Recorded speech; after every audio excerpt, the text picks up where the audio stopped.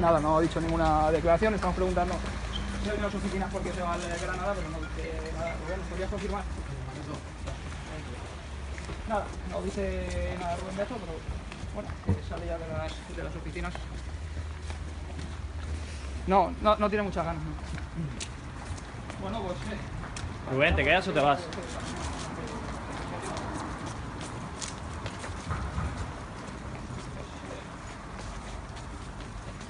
Rubén, que tengas suerte.